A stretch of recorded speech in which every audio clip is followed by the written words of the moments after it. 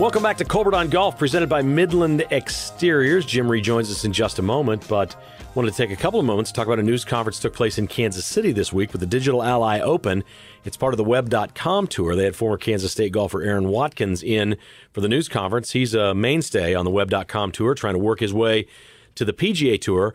This event's doing well in Kansas City. They're starting to get good corporate sponsorship. They added a couple more sponsors this week, and they're hoping to get to a point where it's sponsored uh, financially enough anyway that it will be televised on Golf Channel. It's not yet one of the web.com televised events, but they're working toward that. So things are looking up in Kansas City with the Digital Ally Open. It's August 3rd through the 9th at the Nicklaus Golf Club at Lionsgate in Overland Park. Tickets available online if you want to go to digitalallyopen.com.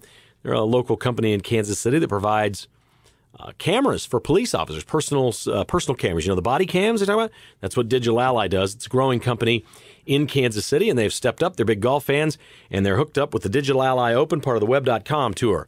So here's Aaron Watkins. He played at Kansas State. He's out on the Web.com tour trying to get to the PGA Tour, and he says every time you just go play a tournament, it feels the same no matter where you are. There's not a lot of difference between the, the players out on the PGA Tour and the players here. Obviously, the top 10 to 15 out there are in kind of a league of their own, but um, you know, the last couple years they've shown that year after year there's been plenty of players that come straight from here that go out there and start winning. So uh, the quality of play definitely is very good out here, and just look forward to getting my chance back out there again.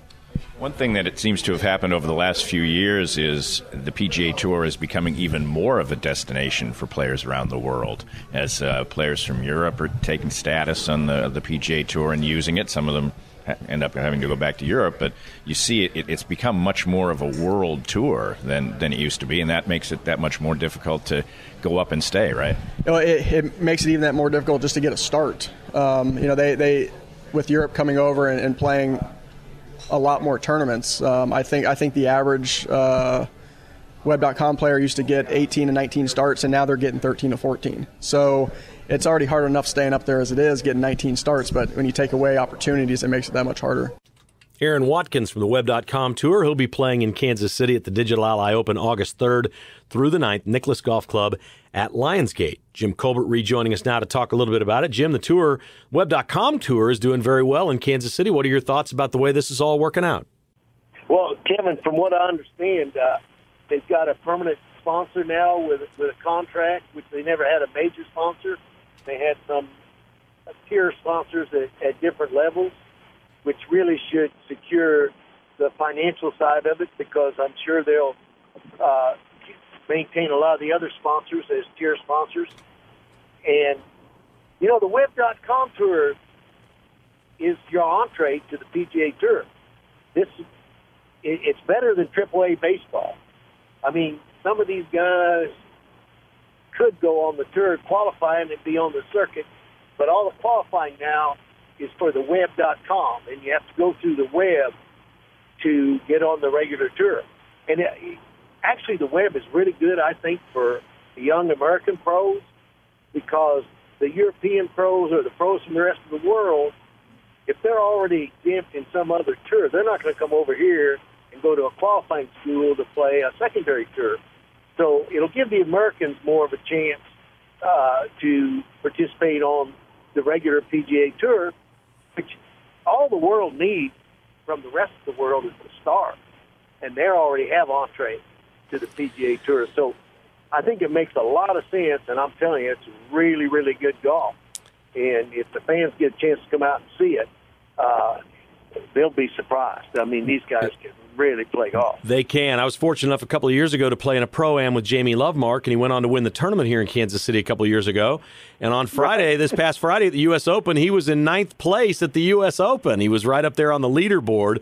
It's amazing how many players go from playing here at Lionsgate, the web.com, to seeing them playing not just on tour, but in major championships. They're having real success.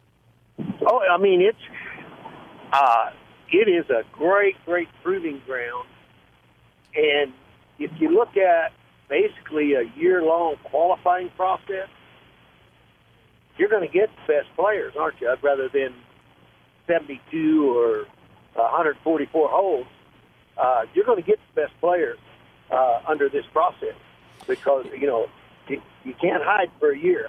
Right. You know, it, it's hard to be just lucky for a year You, you know, eventually, you got to be pretty darn good. And it's it's different than college golf. It's different than a lot of things with young guys. It, it kind of teaches you how to play on tour, doesn't it? Don't you learn how to win on this tour? Well, it, it, it teaches you how to play on the tour in the sense that, I mean, first of all, pal, you got to beat half of them. You got to make the cut. So if you don't make the cut, you're done on Friday. You know, your next tournament's on Thursday. You got to play your practice. What do you do over the weekend? You know, you got enough money to go home and spend a couple of days? Probably not. You know, you, you probably get in your car and go to the next one. See if they'll let you on the golf course. Find a place to practice. Different hotels every week. Uh, eat out. You know, month at a time. Uh, that's a big thing. I mean, I know. You know, I don't talk about old times, but my first year on the circuit, uh, I went 11 weeks twice without ever going home or Marcia coming out or anything. That was, that was 22 weeks on the first year uh, of out there being by myself. And the wife and kids at home by themselves. Well, they weren't by themselves. They were living with my folks and her folks. But that, that life determines a lot about what kind of golfer you're going to be. Talking about the Digital Ally Open, August 3rd through 9th here in Kansas City at Lionsgate. Jim Colbert with us when we come back on Colbert on Golf. Andre Iguodala, the finals MVP in the NBA last week, is going to play Augusta National, apparently. He was on Jimmy Kimmel Live last night talking about that. We'll talk with the pro and have some fun with Jimmy Kimmel, Andre Iguodala. That's coming up next here on Colbert on Golf. You're listening to Colbert on Golf built by Midland Exteriors. Online at MidlandExteriors.com. Midland Exteriors, we've thought of everything.